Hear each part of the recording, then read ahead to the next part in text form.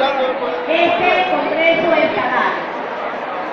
¿Qué significa el intercambio de experiencia, el intercambio de esas metodologías que nosotros aplicamos cada día para la transformación de ese proceso de formación de nuestros niños, niñas, adolescentes de nuestra Venezuela.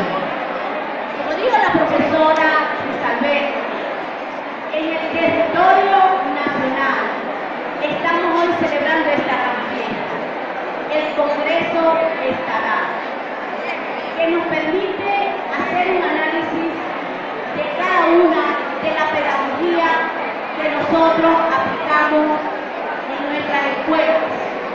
Además, ese amor y esa paciencia con la que estamos hechos cada uno de nosotros que conformamos en los colectivos escolares.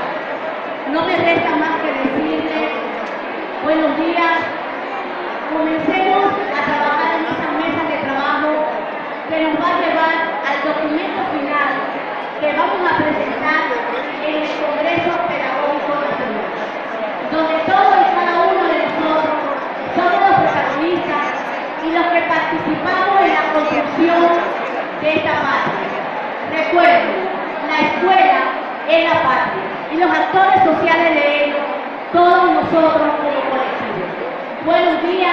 Dios los bendiga y un fuerte abrazo para ustedes.